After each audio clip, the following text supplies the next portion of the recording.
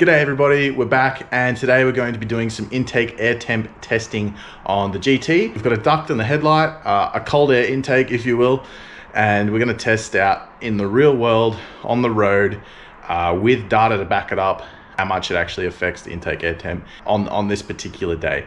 It's quite a cool day, it's only about 19 degrees. We'll test it today and see how it goes. So this is the test subject here. Uh, it's a BAGT for those of you guys that haven't seen it before.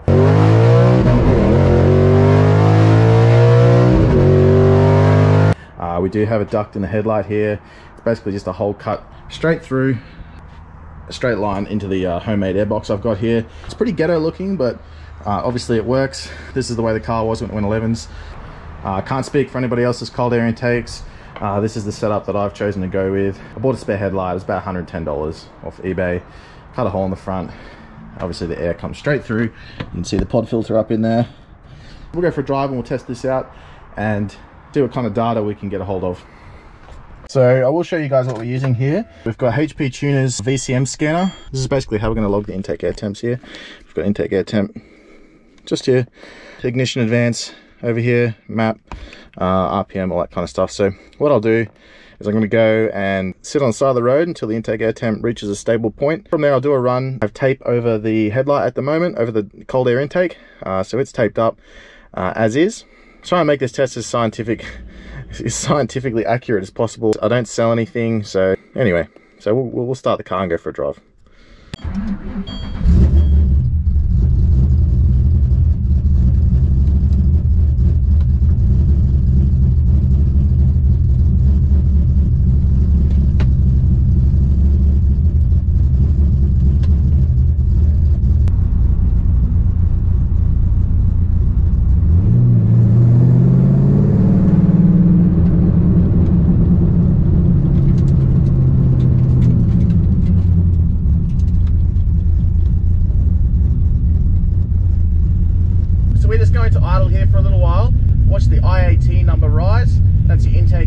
sensor, uh, it's reading in degrees. So see, it'll slowly, slowly start to rise. In summer, you can see up to about 70 degrees just idling in traffic. So we'll give it a little while to move up. So we've reached 40 degrees now, uh, which isn't actually that hot, but we're going to drive to the end of the road, uh, see how it goes, and I'll probably idle down the end. Uh, we'll have a look and see where it sits.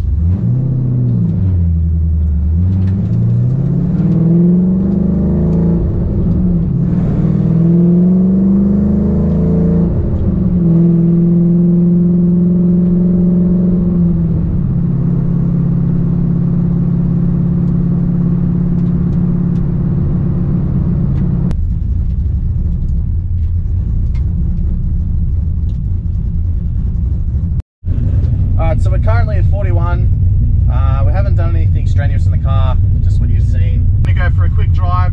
I'm gonna log the numbers. From there, I'll pull the tape back off and we'll test it again with the cold air intake functioning the way that it's intended to. 44.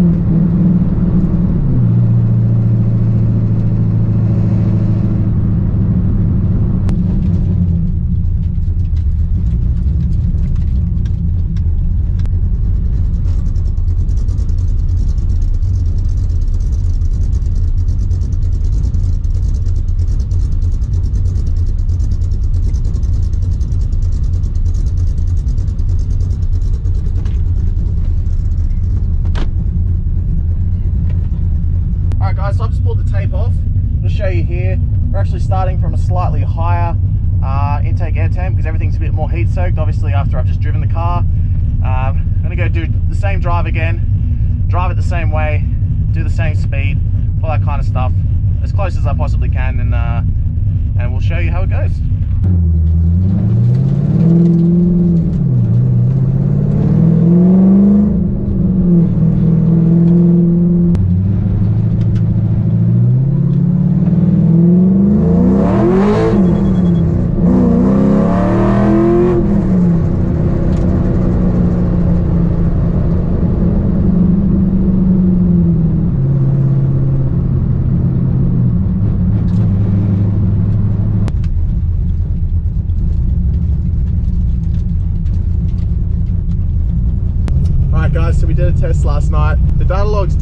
show too much of a change. Uh, we're only traveling at around 60 kilometers per hour though. Uh, I'm gonna go out today and uh, I'm gonna get on the highway. We're gonna do 100 k's an hour for a minute or two. Uh, I'll check the data logs and we'll do the test again at 100 k's an hour to see if it makes more of a difference.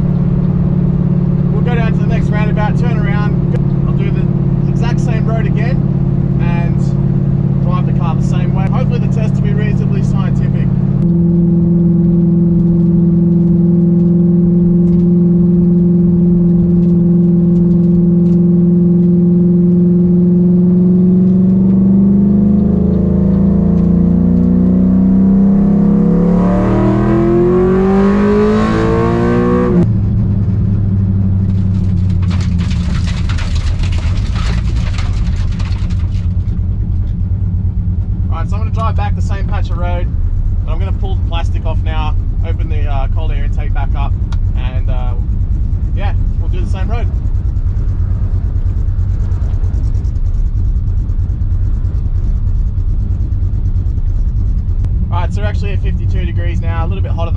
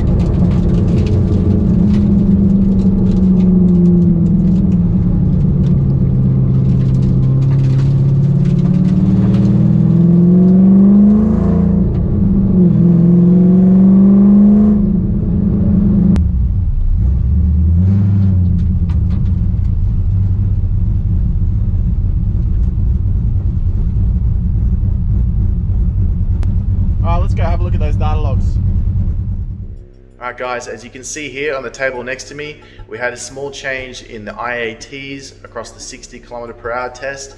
Uh, I'll give you a second to take that in there. Uh, the second test did start at a slightly higher degrees.